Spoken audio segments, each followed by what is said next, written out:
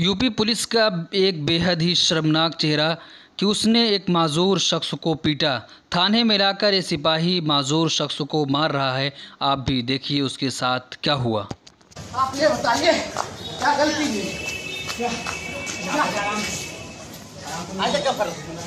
हाँ?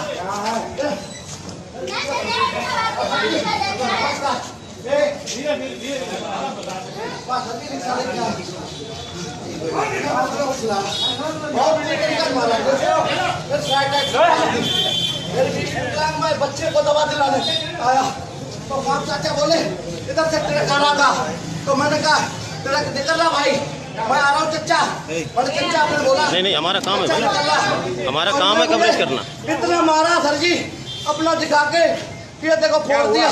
ये मैंने सब कुछ बटर लेटर सारे तोड़ दिए। मैं अपने बच्चे को दवा दिलाने मेरे इसमें भी रोड पड़ी। तो मैंने कहा मुझे थाने ले चलो। कानून मेरे के लिए भी है। ये गलत कर रहा भाई। ये कानून गलत कर रहा भाई।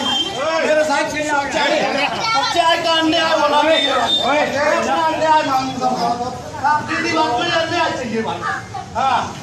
मेरा भाई, मेरी भी इज़्ज़त है भाई। मैं मेहनत से कमाता हूँ। सामने हाथ नहीं फैलाता हूँ।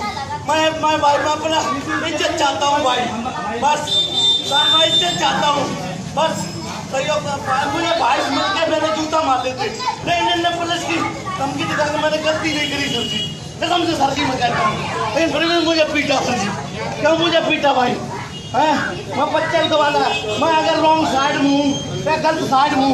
तो आप बताइए मैं साइड में बिल्कुल जहाज़ में था। हाँ, तो सर जी मेरे कान में इतनी तेज मारा मुझे कम सुनने लग गया। कदम से ये देखो ये बैठे। मैंने कहा भाई मैंने आपको कुछ नहीं बोला कुछ और नहीं बोला। अगर बोला नहीं हो तो बताइए आप फिर क्यों मार रहे मुझे? हैं? आपका ये है कानून है? मेरे पास हथियार नहीं है। देखो सर मेरा ये भी टूटा पड़ा सर जी। मैं अपने बच्चे को दवा दिलाने आया और ये रहा सर जी, जो भी है सर। मैंने कहा, सर जी, मैं आपको कुछ नहीं बोला। अब आगे बाद मुझे इनने पीटा सर जी। हाँ मुझे ये भी मेरे रोड पड़ी सर जी, मेरा कंपनी में एक्सीडेंट हो गया। मैं अपनी इज़्ज़त से कमाता हूँ। किसी को गलत नहीं बोलता हूँ सर जी। कोई अगर मेरे खिलाफ